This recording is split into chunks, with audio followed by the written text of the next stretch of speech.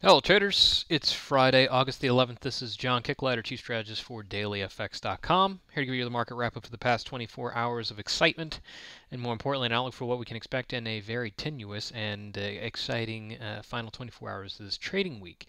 Well, we start off with this chart. This is the VIX Volatility Index, a frequent uh, chart for us uh, over the past weeks, months, and years. And what has been very remarkable consistently for this index is that it has been very, very deflated. We've been oscillating around 10, which historically is an extremely low level on many different uh, measures. This was actually the quietest period on record for this uh, index that goes back quite a few years, quite a couple, uh, a few decades. Um, so it's that context of which we see this dramatic climb. Now, this isn't a one day affair. It's actually risen uh, three days through Thursday. Uh, but it is obviously Thursday's session alone that really brings the drama. Uh, we have a a move that pushes this volatility measure, this activity, often considered a fear measure, up to a level that we haven't seen uh, since way back here on November the 8th. And we know what happened on November 8th, 9th. That was the U.S. presidential election anticipation, really soaring, and uh, really the only comparison we have is uh, the aftermath. But this is a very exceptional level of volatility. Now, I'm not one to put technical analysis on measures uh, rather than price. This is a barometer, uh, and indicators like this are really uh, useful when we're reflecting upon the conditions which they reflect. In its traditional sense, the volatility index from the CBOE is a reflection of pure implied volatility, anticipated activity from the S&P 500, which is its benchmark, uh, over the one-month time frame. But we have to be practical and realistic nowadays. This is a tradable instrument. It has, been uh, clear in futures, which uh, uh, has been one of the highlights of great concern uh, that I've been pointing out recently that futures traders are net short a record uh, amount of contracts on the volatility uh, index. So net short, record net short. Let me just reinforce that because we were already at 10, which was a historically low level, and they were not just modestly short, short on net, but they were they were short in massive numbers. So now we have a massive 60% loss for those that were short around 10. It just this eh, this really points to the risk reward factors that we have to think about. When you go let's say long risk on and you're already in an expensive market where uh, benchmarks like the S&P 500 are already extraordinarily expensive uh, and have struggled with trend you're talking about a lower potential, a smaller gain uh, by being long and sticking with that risk trend. But you're also talking about a much more fantastical threat, a risk, because the potential for returns are smaller, but the threat should a risk aversion kick in, even if it's a lower probability, uh, the move would be far more substantial. So the imbalance of risk reward is really prominent and present when we talk about the S&P 500, a, a constant uh, discussion point for us. But when it comes to something like the VIX Volatility Index, uh, the contrast to the S&P 500 is you actually have upside potential. While it might be restrained in its advance, it can still move higher. There is no cap on a record high. But there is a cap, a natural and a practical cap for volatility. And at 10, this really does show us how extreme the impracticalities of market positioning are. I, I point this out because it really emphasizes the conditions. All right, we'll talk about what is motivating this turn of fear uh, in the markets, uh, and I think most of us already know, but I want to emphasize it's not the catalyst. Just like it wasn't the catalyst back during the great financial crisis, uh, it wasn't subprime housing that was really the broad issue that led to the full scale uh, collapse of the markets. It was the circumstances that uh, had supported the lead up to that particular catalyst. An excessive use of leverage, a deep complacency in markets, a abundance of uh, financial wizardry that wasn't based upon practical value. It sounds very familiar to what we are today. But it's conditions. It is conditions that lead to uh, deep reversals in markets, all right, a full-scale risk correction, but it is also really the genesis of full-blown crises. So we have to keep that in mind when we are making our investments. Sure, markets may remain steady and you slowly climb higher and higher and higher, uh, practically uh, bowling over uh, what seems to be reasonable assessments of value. But if you go for those kind of trades, be mindful of what the risk reward imbalance is and what the risks in particular really represent. All right, the VIX volatility index is truly a strong reflection of this. But looking at the VIX volatility index, we actually had, if you want to uh, play it this way, because I, I, think it is a speculative asset, a technical break on a multi-year uh, wedge. All right, so we're breaking to the upside. Is this sustainable? Well, it, it's the nature of the volatility index that it doesn't really live through these high degree volatility measures for very long. It has a tendency to revert to a norm, to go to a regular uh, degree of activity. But if you see here, I actually have the moving average in green. We're at an extremely low level, even lower than what we had back in the summer of 2014, which, for those that were trading in that period, was the most frustrating time ever. Uh, and we are likely to see that it can come out with a higher resting rate of volatility, meaning greater activity, greater uncertainty and concern in the market, and that can lead to, if, per, if it persists, a eventual turn of these over leveraged markets. Again, conditions matter more than the just catalyst that we come across and uh, really crowds the headlines. All right. Now, what was the motivation? What is the catalyst here? Uh, actually, I think it's a culmination of a few things. We've had the turn to monetary policy, which has to this point been generally uh, taken into consideration but not necessarily the motivator for people to massively delever. Uh, you have to recall that the risk that this exposure represents, markets are heavily long uh, speculative assets because of, in part, the support offered by central banks, which helps to reduce volatility. At least history suggests that. But as it starts to turn and as the market starts to speculate on uh, the ECB backing on QE and uh, central banks like the Bank of England and the uh, Bank of Canada and the RBA, uh, the speculation surrounding them uh, potentially tightening, this starts to genuinely shift the big picture perspective of complacent, stable markets in which I can really reach for that risk exposure.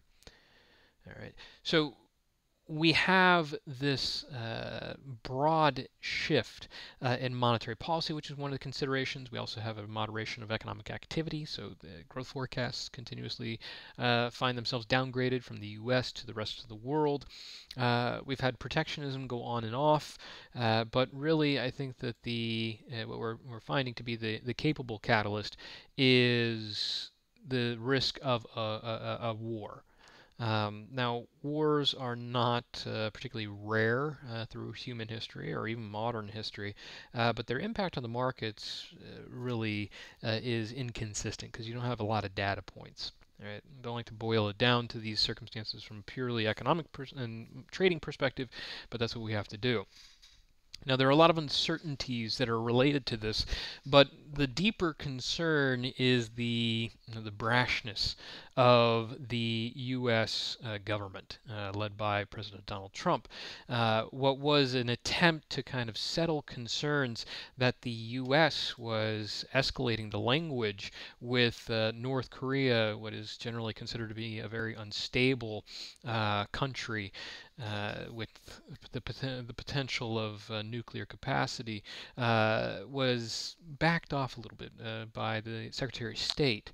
Um, but proving just uh, how bombastic he is, uh, Donald Trump on vacation actually suggested that uh, he meant what he said, uh, the fire and fury commentary, and suggested that it might have been not strong enough. So really amplifying the threat of war. But in turn, that also suggests that uh, the political stability within the United States could be at risk as uh, Congress uh, starts to really question uh, the support for this kind of uh, aggressive uh, posturing. So we have the threat of a uh, of an international incident and war, uh, which the United States uh, has been very uh, war fatigued over the past few decades, uh, as well as again the return to uh, political stability questions. Now remember, we're still in what's deemed or considered the Trump rally. Uh, the Trump rally actually began back in November after the election. We'll turn over, that was the E-minis, this is the SPDR ETF. Um, the Trump rally began after the elections because the expectations were not this is a great candidate versus the other one, but rather because the economic programs that were promised by the candidate on the campaign trail, the tax reforms, the infrastructure spending, and yes, also the, the regulatory rollback were seen as economic and business positive. But those programs have not been implemented. Uh, in fact, they haven't even really seen significant traction or the structure or the bones of a reasonable uh, starting point. So the confidence that this economic projection, especially in contrast to the uncertainties of trade and the position the United States uh, has in the global trade uh, uh, matrix, was already dropping off. And now we have another catalyst, more catalysts that come along to suggest that that agenda, that growth forecast, is not only unlikely, now it's getting buried by other issues. So this is one of those building considerations, and it's starting to shake loose some of the complacency.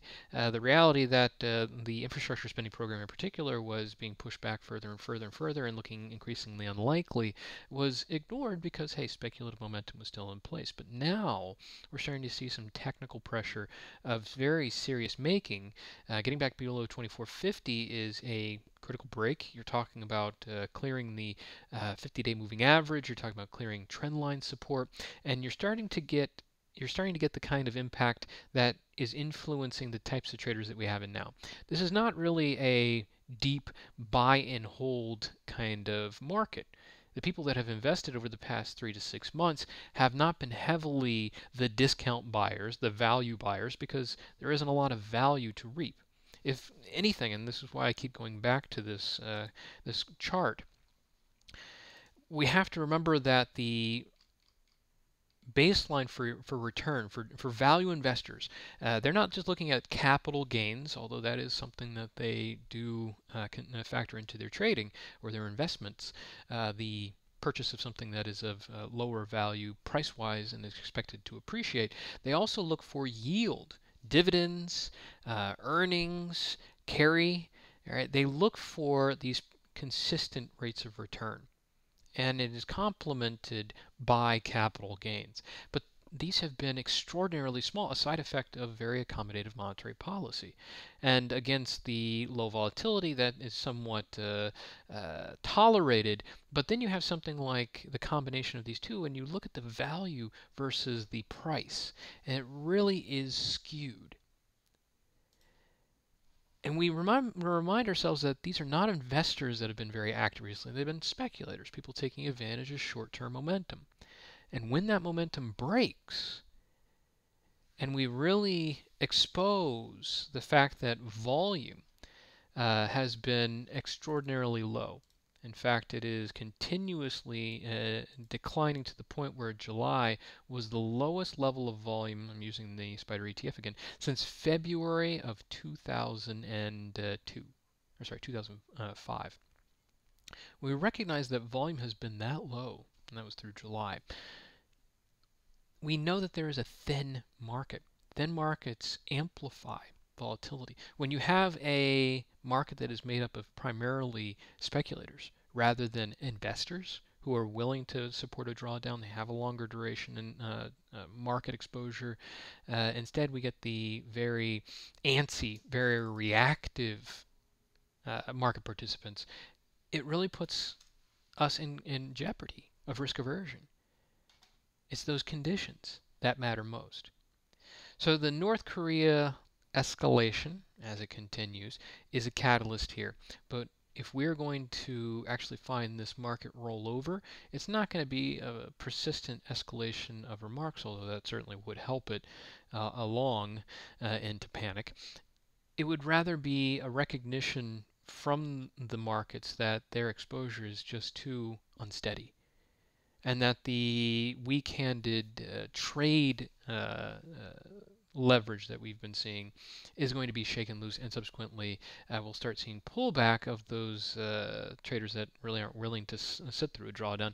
And you're going to get to a point where eventually it's going to hit the, the the investors, investors who have gotten in earlier in the bull trend that start to see the, the, the threat of holding out the drawdowns getting into or eating away their profits uh, and subsequently uh, maybe even getting into losses depending on when they, they entered and how deep this correction becomes.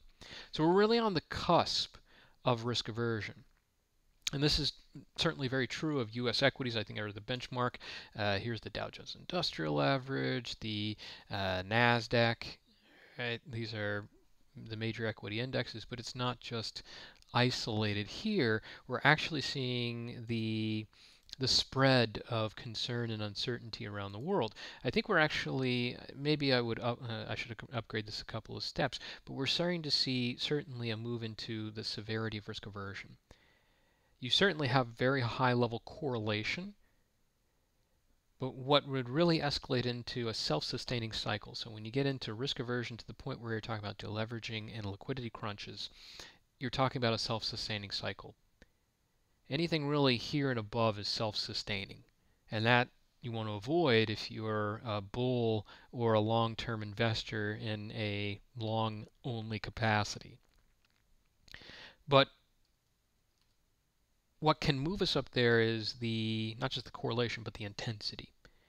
But taking a look at the correlation first, uh, you have other equity indexes around the world. The DAX, the German equity index, has been carving out this head and shoulders pattern, which we've been following for a while. This actually I mean, if you're a pure technician, you could say that that actually cleared the neckline on that head and shoulders pattern. Further, it also uh, takes out this trend line. Although uh, I don't really, I think this is generally one point, two point, and I'm a three point kind of a, a trend line person. So it doesn't really fit the crucial break because uh, it didn't really hit the high profile uh, verification that I look for in these kind of patterns. But nevertheless, that is a multi-month low, and it does look like a technical reversal. The FTSE 100 had a massive decline, not a full-scale reversal. The Nikkei 225 had a break earlier this week, though Japanese markets are offline uh, for Friday, so we're not going to see how they are contributing to the circulation of risk aversion through the 24-hour cycle. Looking beyond equities, though, uh, we get into the emerging markets. Clear, aggressive break there. High yield fixed income, which was already dropping, has extended its decline and certainly taking uh, taken out some support there. Uh, this does look like general risk aversion. All right, correlation is definitely there. The progress that we were seeing speaks to escalation, uh, but perhaps not that far that we're getting into a guaranteed self-sustaining cycle. So in the context, I'm not ready to just back up the truck and uh, buy out uh, all the short side on the S&P 500 or uh, just uh, scale up on uh, massive amounts of puts. But we are getting to that point. Looking for particularly uh, acute or appealing risk-oriented assets to take advantage of. Uh, the S&P 500 is arguably one of the best. I mean, it's uh, it is extraordinarily expensive, and relative to most other assets, uh, in terms of sheer performance, uh, it is one of the most extended over the long period of time, uh, starting from the Great Financial Crisis. So it has the most room to lose, uh, but it is also the most stubborn, so don't be too cavalier with what your expectations are. Uh, in other risk uh, benchmarks, uh, the volatility was just the lowest boundary. Uh, that extreme positioning, the extreme lows, it really uh, I'm not one of the uh, those type that readily go against the sell volatility crowd. It comes from my background on options, but that is such an imbalance that it, it, it really was a great trade for those that were long uh, volatility, which could be you know long puts on the S&P 500 futures, or uh, it could be just outright exposure to volatility indices. Uh, the VXX traders, I'm sure, are very vindicated, but not the best instrument to actually express this view through. It is a fundamentally flawed uh, asset. But we are at the cusp of seeing that that escalation. We, we could uh, tip into full-scale risk aversion, or we might just pull back into complacency. But I do think that given the intensity of this move, it's going to be a little bit more difficult to just simply uh, revert back to the quiet August that we had cut uh, through the previous uh, week. Right, you're, you're not going to get that really low volatility uh, reversion that you had before. This kind of shock is going to sit with the market, and it's going to put the speculative crowd on uh, on edge. So we're going to get more uh, uh, swells like this.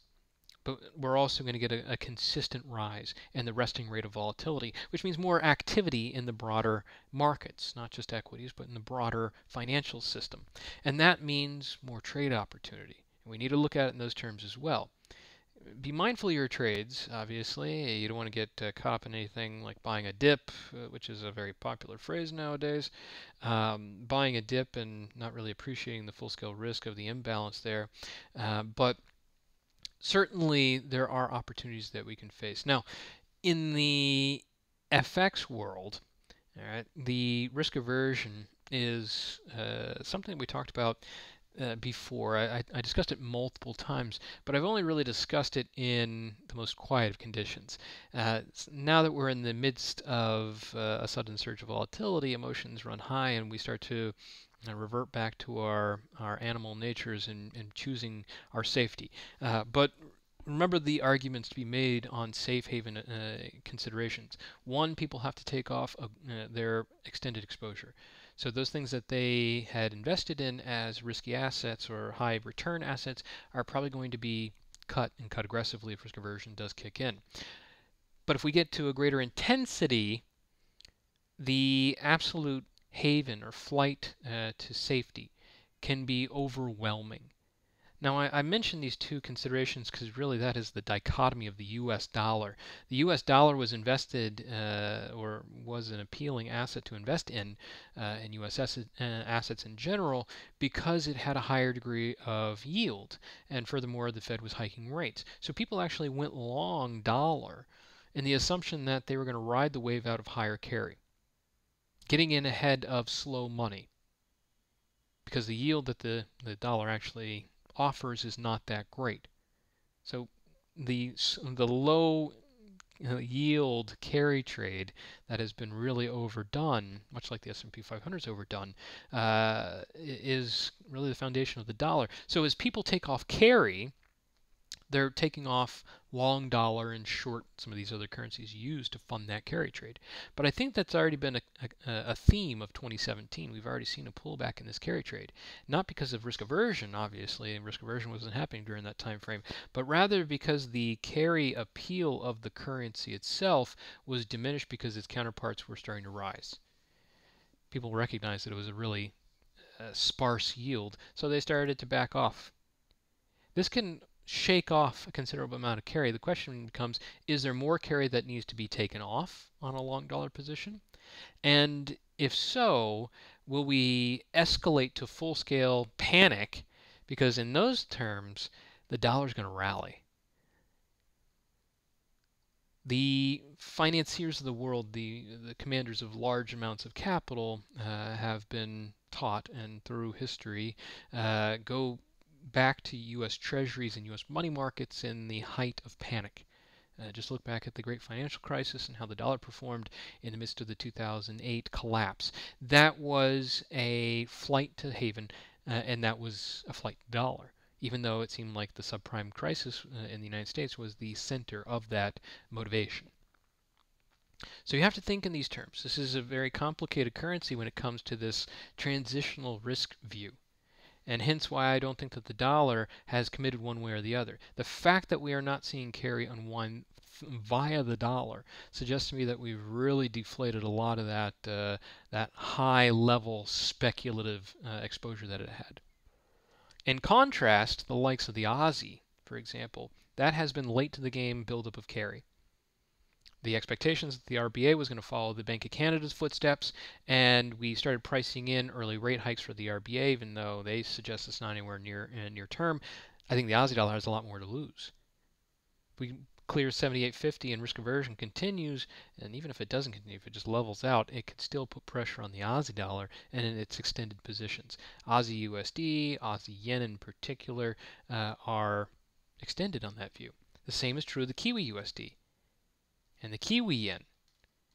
Just this past uh, Wednesday, we had the RBNZ rate decision, which they uh, shelved all expectations of a near-term rate hike, and that pulls back on that carry potential as well.